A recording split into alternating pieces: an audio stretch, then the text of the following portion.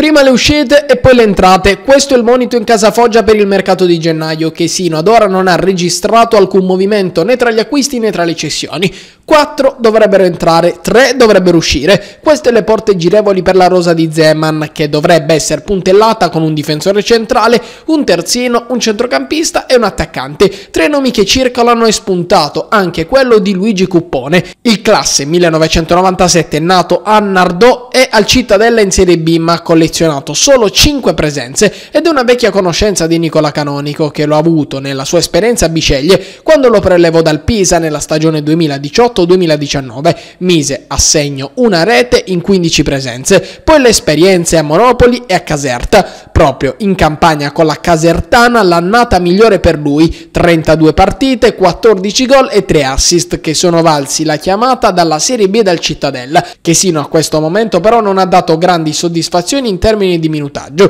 solo 120 minuti giocati dall'esterno salentino, potrebbe dunque prendere in considerazione l'ipotesi di tornare in Serie C e accettare il progetto Foggia e magari valorizzare le sue qualità con il maestro boemo per tornare a far bene e a segnare.